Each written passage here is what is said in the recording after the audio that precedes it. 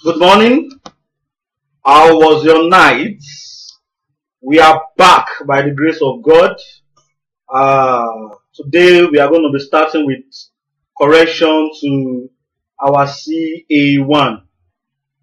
By the grace of God, uh, well, we thank God we've been able to successfully uh, finish the exam. For those of you that were able to partake, well done. I have been marking, I'm almost through. Uh, probably will be true by the time you are watching this video because this video was pre-recorded. Okay, so um, um, I want to highlight some some correction. This is actually the correction you are going to get from me. The rest you are going to do on your own. Alright, but it's not difficult. The questions were pretty straightforward, but still I observed some things I would like to address quickly. Uh, first of all, the type, the peculiarity of the question uh, made some of you forget that it all started from the Google Classroom. So you refuse to go back or you forgot to go back to click turn in or done. You refuse to do that. And when you don't do that, we can actually see your work, that is the Google Forms that you filled uh, you filled your answers in for the objective, the theory, and the one that had your names and all. But for us to be able to give you back your score and the breakdown of your score, like as if we are returning your script and writing all those analyses that we used to do on it, uh, it will be somewhat difficult for us. So subsequently, at least I want you to try as much as possible. As soon as you finish, always make sure you click turn in or done, as the case may be in uh, depending on the peculiarity of the uh, assignment. It can be turned in, it can be done. After you have clicked on submit already on the Google Sheets, still come back to click turn in. Okay? Alright, so that being said, uh, for those of you that did not turn in, I want you to have at the back of your mind that everything is marked over 40.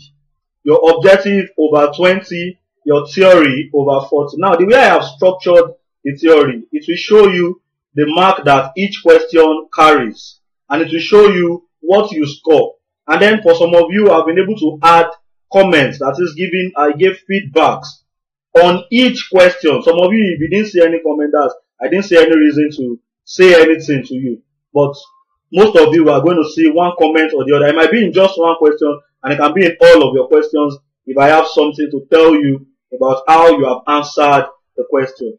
Alright, so subsequently, I want us to be more organized, more professional, professional students. Permit me to say that uh, about the way we handle the answering of questions, whether in class, whether classwork, whether class activity, assignment, or on the internet that we are using at the moment.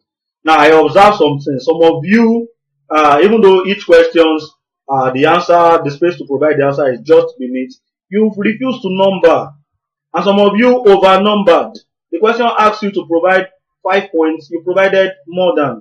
When you provide more than, I deduct marks. No, it is not. You follow instruction to the letter. That was stated at the beginning. I said, read all instruction twice. That's before you even saw your test at all. I already posted, I already posted it, I think days before the test comment us a few minutes before posted it that you should read instruction twice. Answer the question. Please, let's form the habit of answering the question. When you give me seven things, what you are telling me is, Mr. Konde, I'm not sure, but out of these seven, five should be correct. So pick the ones that are correct. No, I want to know that you can tell me for, for certain that these are the five that is correct. That's what shows that you actually do know it. So when you are putting answering more than required, what you're saying is uh, what you're telling the teacher is you are not sure, but I am sure you you you you are. You just want to prove uh, that you know it very well, and but you're proving you know it very well is actually detrimental to your marks. All right, so we are not just learning for marks anyway. We also need to learn uh, how to apply all these things in the practical world out there because nobody will be asking you to define this, define this. Uh, you'll be asking to, to do what you have learned, to apply it, to use it. So that's why I'm always very particular about the pattern in which we are answering our question. Many students we know that if we don't number. Conde will remove mark for not numbering. It's not that I want to punish you. No! I want you to know the nitty-gritty of doing things. Eh, Mr. Akande we, will remove mark when you don't write your headings. But in this case, I will not subtract because the questions are just above and you provide your answers beneath. But in cases where the questions are not above, tell us what you are answering. Don't just start with it, they. No. Tell us, this is, this, this is what I'm talking about. I'll give it a heading. For example, you are asked to list uh, five advantages of monoculture, for example. Five advantages of monoculture. You say advantages of monoculture are, then you list it. Don't just start, ah, it is, it is, they are, no. What is the it? What's the it referring to? What's the they talking about? Hmm? Let's be uh, very conscious of that from today henceforth. Alright, so if you did not number, uh, well, I brought my my straw and I removed marks for that. Uh, I removed as small as 0.5. Some of you will be saying 0.5, 0.5 in your score. Yeah, I, I did that because uh, maybe you did not number or the points did not hit the nail the way it's supposed to have hit, uh, hit the nail. Okay? Hit the nail, I mean. Alright, so that is that about uh, the nitty-gritty of us answering uh, questions. Okay, now let's now go to uh, the way you how will how will you know your 100 score for those of you that didn't turn in? Whatever you score over 40 just do it yourself a solid huh? What do i mean by do yourself a solid? Just multiply by 2.5 when multiply by 2.5 you know oh this is what i scored over 100 but as much as possible we try to filter and get your email address and then send your score your over 100 score to you we will try to do that we'll try to do that okay um let us move on question 1 ai two marks. Ask for the definition of pisciculture. What am I looking for there? Pisciculture is commercial farming, commercial fish farming. And that reminds me, some of you just copied e-note and pasted. I know when you copy e-notes, there are some mistakes that were deliberately left in the e-note. Some of them were mistakes that were mistakes, but some of them I saw and I did not correct and I didn't ask you to correct. And you still copied it. What you're supposed to do was to read ahead, have broader knowledge. That's the essence of we are just to point you. This is the direction you should go, and then you have to explore. You have the internet, you have the you have access to phone. Nobody saying, ah, get out of your phone, don't use the no. You have the access. Why don't you use it to explore? Why using it to copy? No, no, no, it shouldn't be. Please let us watch out for all of that. So anywhere you see that I put comment, use your own words. What I'm telling you is you are copying this from somewhere, either from your e-note or from Google. That's where you copied it from. And I know. That's what I'm telling you. That's why I say use your own words. And if I didn't say use your own words and you know you copied, please make sure that don't think that you just you went away with it. Uh, the, the implication is that I don't know the measure of your intelligence. I don't know how well you have imbibed the, the lessons of the day or of, or of the, that particular time. So I cannot tell. I can't help you.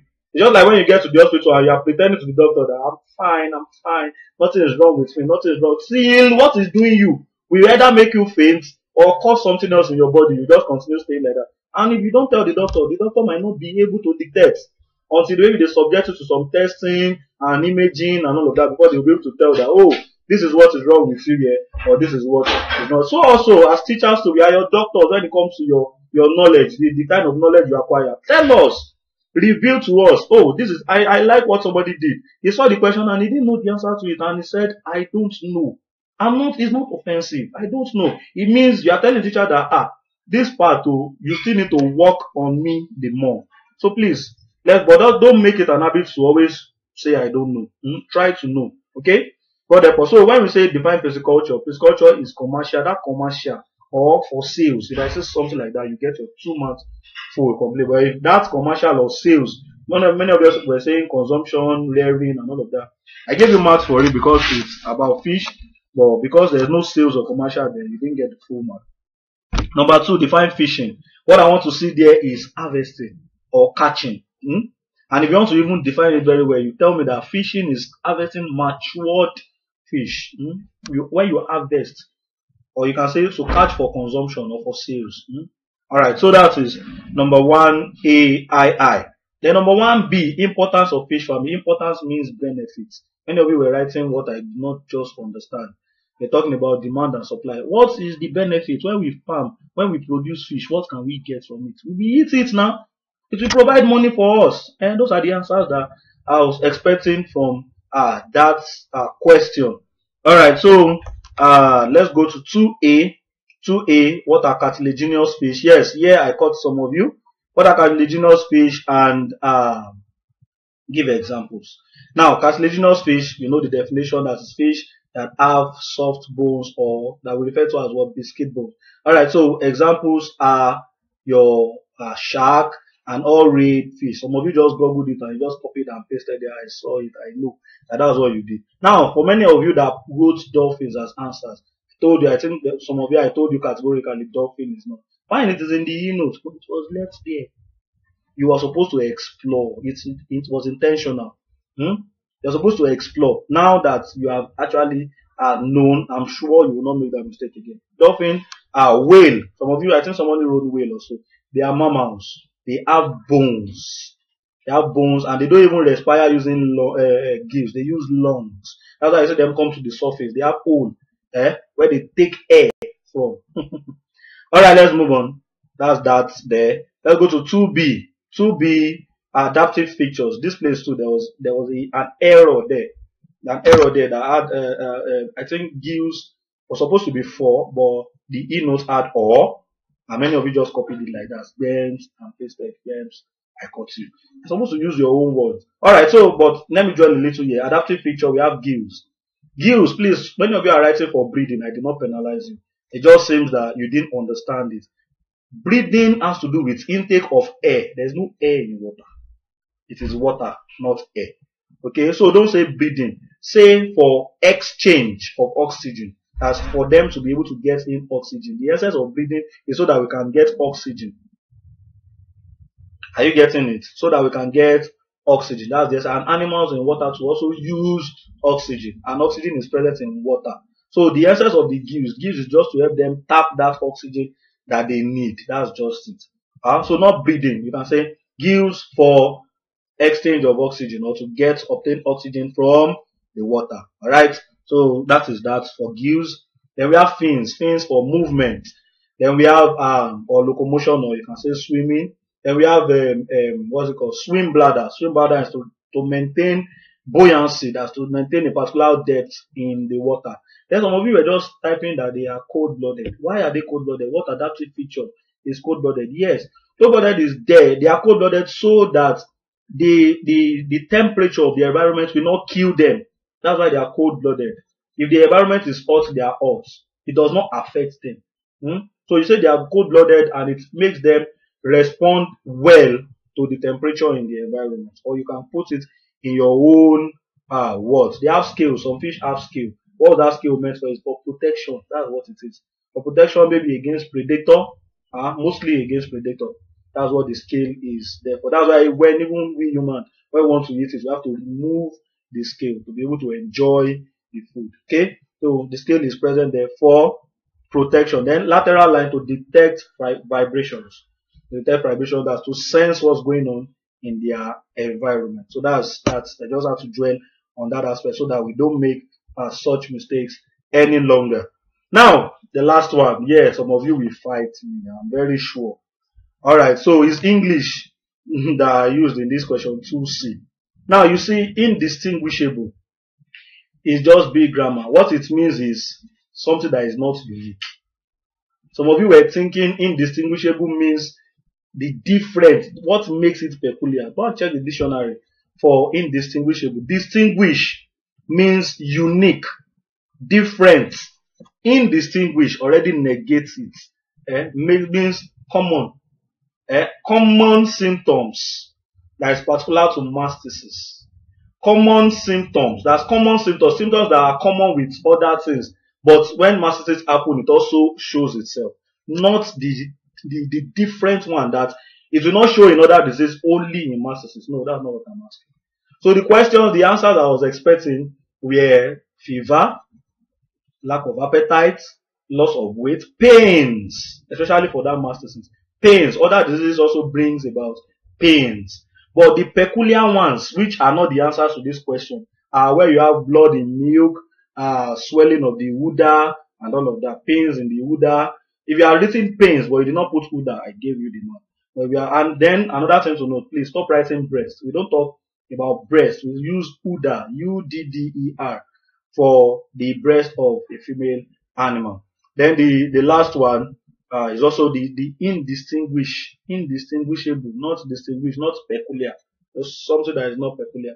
Uh, and you know that that disease is particular, is particular to uh, poultry animal, mm, Newcastle disease, particular to poultry animal. So they don't eat, uh, and when they don't eat, they lose weight. Fever comes up, they are weak. I say weakness too. Weakness also happens in mastitis. The animal is weak when the animal does not eat. It's expressing pains. Eh? Then there's uh, the, the animal is not coordinated. It's not just uh, uh, uh, what's it called? The Newcastle disease that cause the animal not to be coordinated. So if you have reason the animal is not coordinated, I still give you. But the peculiar one is when you see the animal twisting and paralysis and all of that coming into the uh, equation. Those ones are peculiar to that uh, category of it. So this is the correction. If there's any aspect that you still need broader knowledge, visit your textbook first visit the internet and if you still need further explanation you can now call on me. But the best way to learn is when you you see it and you imbibe the uh, knowledge on your own. Okay